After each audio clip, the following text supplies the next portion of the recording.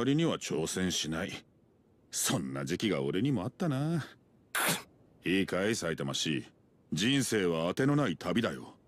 新しい景色を見るためには自分で道を切り開くしかないんだ。お前旅したことあんのか？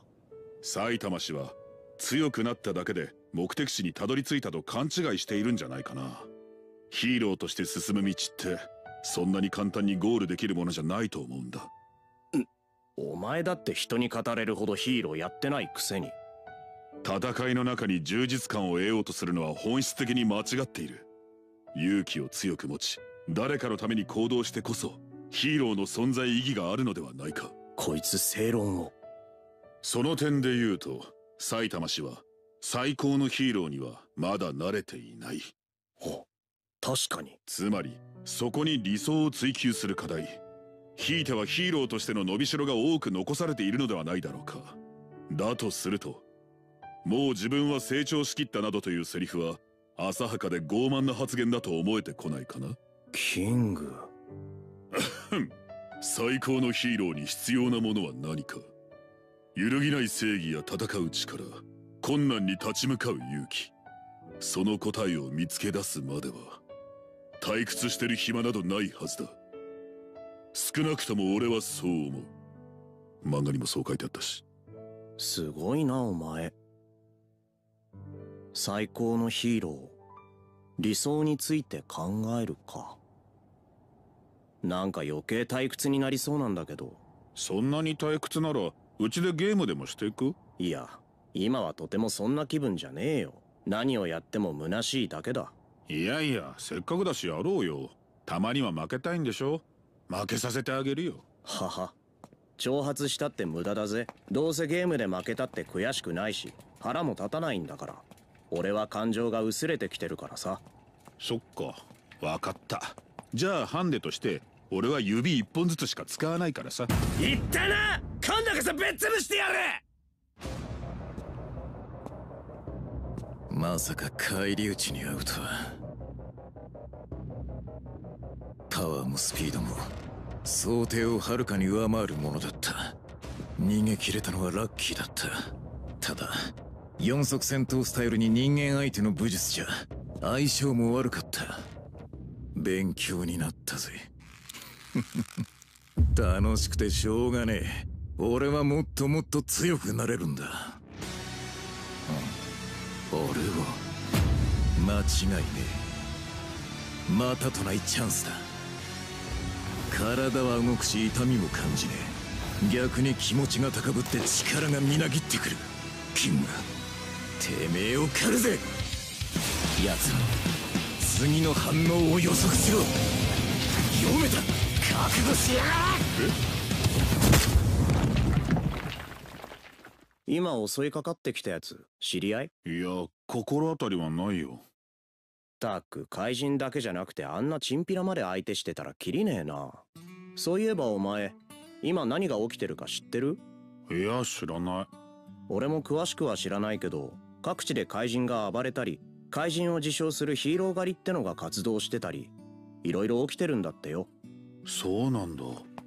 ヒーロー狩りは俺もちょっと気になってて。へえ。自ら怪人を名乗る人間なんて今までいなかっただろ？俺が一人でヒーローを名乗って活動を始めた時も同じだったから。だからちょっと期待してんだ。もしかしたら俺より強いかもしれないしな。そっか。早く会えるといいね。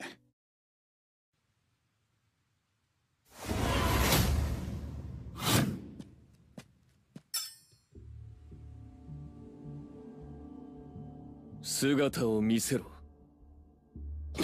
何？の2対1俺を襲うということ死ぬ覚悟はできているんだろうな。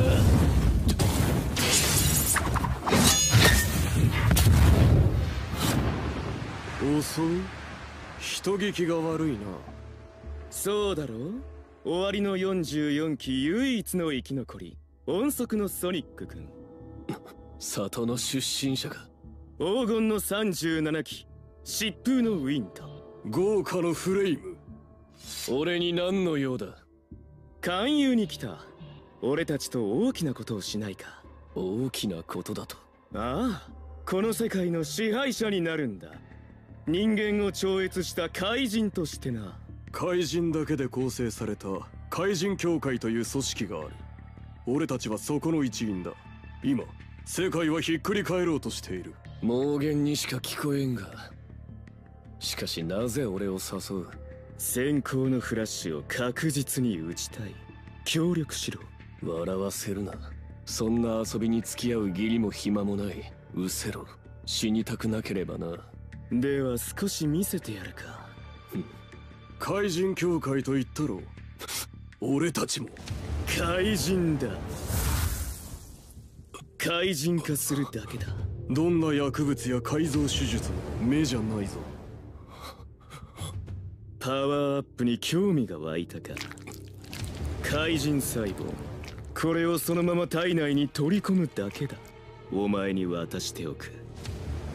怪人協会で待っているぞ。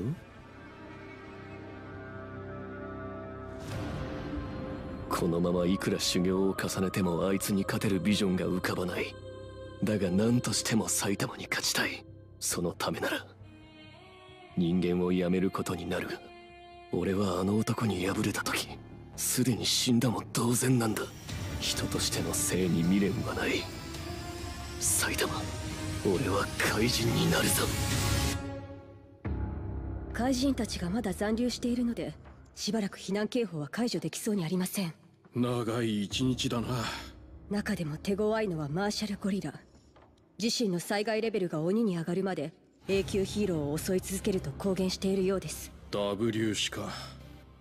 付近のヒーローたちを集めて包囲しよう。必要ない。雑魚相手に何人も出動するのは人員の無駄遣いだ。ゾンビマンここは俺に預けてくれ。はい。さてと。おい全然ヒーローの俺の読みが正しければ今回の騒動を裏で操っている黒幕はあの組織。あの警戒の薄さならこのまま住処まで洗えるかもしれないやけにガタイのいいのが歩いているな。まずい。一般人が襲われる。プロヒーローか？お前。はい。ゴリラじゃねえか！お前もゴリラじゃないか。な、なんだ？お前。フリーの怪人？なんだ？フリーの怪人って。俺はただ食材の買い出しに来ただけだ。買い出しだ？怪人のくせに人間社会にかぶれたか？ゴリラ怪人の面汚しめいや急にそんなの言われても。敵になりうる存在ならばここで死んでいけ！いざこざはよそでやれ。対象を変更。奴を追う。結局今日はなぜか怪人駆除のボランティアで一日終わっちまったな。もっともお前はそれが本職じゃが。なあバングもしかしてガローはこのパニックでヒーローか怪人のどちらかにやられたんじゃないか？それはないぜお兄ちゃん。そんなやわな育て方はしてねえからな。だからこそ責任を持ってわしが倒さねばならんのだ。ガロー怪人になるということが何を意味するか分かっとるのか。他にやられるくらいならせめてわしの手で。もうじき日が暮れるの。駆動基地から重要な報告が入っている。今回の敵についての情報だ。名は怪人協会。目的ははっきりしないがヒーロー協会の対立組織を謳っており人間を怪人に変化させる術を持っているらしい。トップの名は怪人王オロチ。アジトのおおよその位置も送られてきた。場所は Z 市。例のゴーストタウンだ。怪人に奪われた領域か。しかし奴らがわざわざ重役の息子を誘拐したということはやはり交渉を狙ってのことか。ああ我々に手を出すなと言ったところか。交渉次第では駆除対象から外してもらえるとそう考えたんだろう。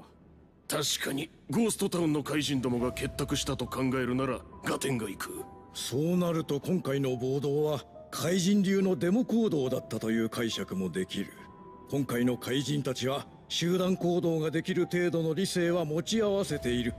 我々に接触を図ってくる可能性は極めて高い。付け入るとしたらそこだな。うまく騙して一掃する機会を探ろうではないか。まずは話を聞きましょう。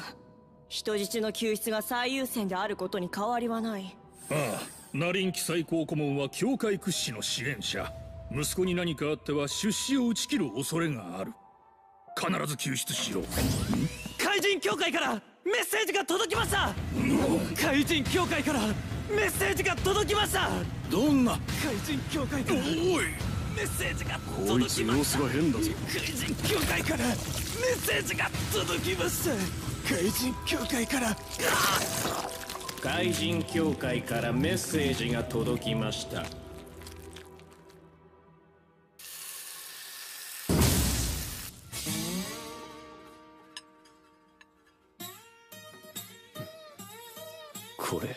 火を通してよかったんだよな。常識的に考えてこんな肉生のまま食えるわけないしな。あまり考えないようにしよう。首を洗って待っていろ。埼玉。